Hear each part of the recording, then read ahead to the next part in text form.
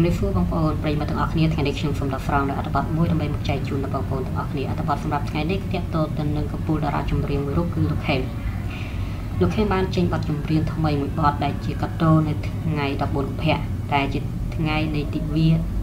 នៃក្តីស្រឡាញ់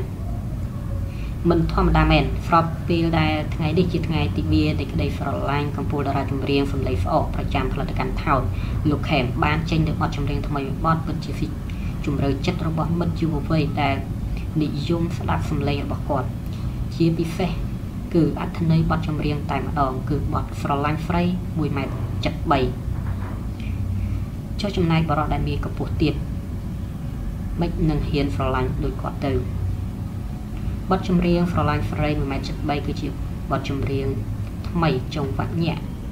អាចរួមលេងកំសាន្តបានហើយក៏ជាបទចម្រៀងមួយសម្រាប់ កំពូលតារាចម្រៀងលោកខេមក្នុងឆ្នាំ2020នេះស្របពេលចំថ្ងៃនៃក្តីស្រឡាញ់គឺលោកខេមបានផ្ញើបទនេះដល់ fan របស់គាត់ជាពិសេសជូនពរអ្នកដែលស្រឡាញ់គាត់ចូលចិត្តគាត់និងគ្រប់គ្រងគាត់ទោះជាយ៉ាងណាក៏ដោយលោកខេមក៏នៅមានពាក្យពេចន៍ខ្លះៗផ្ញើជូន fan របស់គាត់ដោយលោកខេម បានសរសេរសារបង្ហោះលើបណ្ដាញ Instagram ដូចនេះថាទិវាបុណ្យនៃក្តីស្រឡាញ់សូមព្រះប្រទានពរម្ដាយឪពុកប្រជាជនខ្មែរគ្រប់រូបមានអាយុយឺនយូរសុខភាពពេញបរិបូរណ៍ជាពិសេស fan របស់ខ្ញុំគ្រប់គ្រប់រូបមានសេចក្តីស្រឡាញ់សុខសាន្តយ៉ាងពិតប្រាកដចំពោះគ្នាទៅវិញទៅមកពីខ្ញុំបាទខេបអូខេចឹងតើតទៅនឹងកពូលតារាចម្រៀង ដ៏ល្បីប្រចាំផលិតកម្មថោនគឺលោកខេម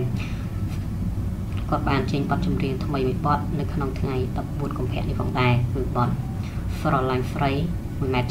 73ហើយបទនេះខ្ញុំថាមានការគ្រប់គ្រងយ៉ាងខ្លាំងពីសំណាក់ស្រទាប់យុវវ័យនិងបណ្ដាទស្សនិកជននិង fan fan របស់គាត់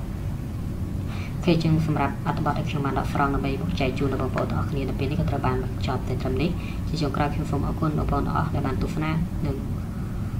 ស្ដាប់ជាមួយខ្ញុំនៅពេលនេះខ្ញុំបាទសូមអរគុណសូមជម្រាបលា